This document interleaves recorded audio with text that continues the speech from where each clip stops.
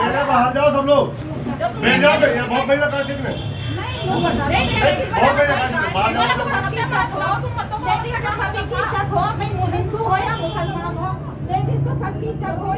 साहब आपके कोतवाल ने जो है कुछ महिलाओं को थाने से खदेड़ा। क्यों क्यों किया ऐसा?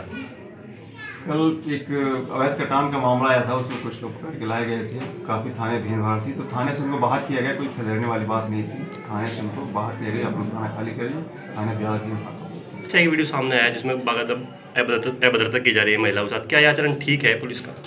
अभद्रता मिलना ऐसी कोई बात नहीं है बस महिलाएँ जो काफ़ी संख्या में थाने पर थी उनको थाने से बाहर किया गया कि अपना थाना खाली करके बाहर चले जाइए। अगर वीडियो ऐसा साबित कर देती है तो कार्रवाई बनती है। जाँच करेंगे सही होगा।